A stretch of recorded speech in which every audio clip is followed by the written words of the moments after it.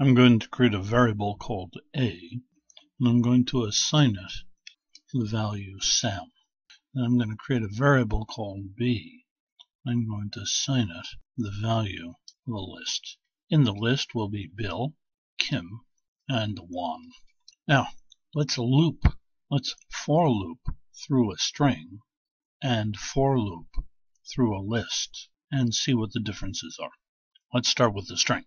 For, pick a variable, x in a, that's where Sam is, colon, backspace, 1, 2, 3, 4, print out whatever value is in x. So our guy is going to do this. It's a variable x and he's going to walk through a.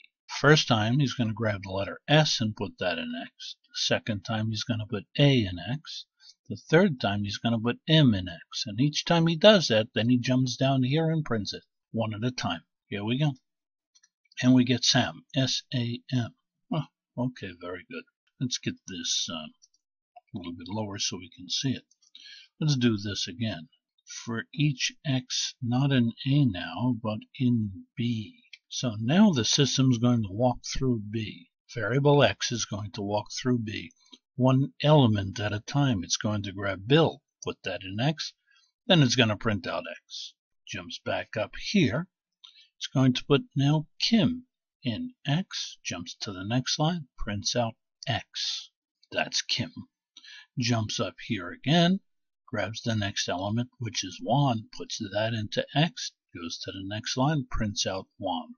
That's what should happen. Let's see if indeed that is what occurs. Enter, enter, and oh, but a bing, there we go.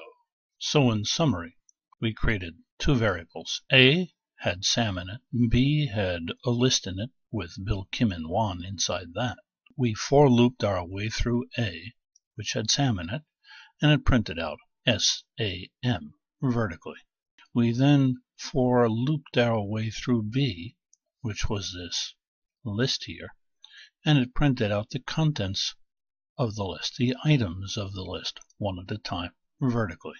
Bill, Kim, and Juan. This is George Boole. Please share and rate this video. That means click on the like button. And I wish you lots of luck. Bye bye now.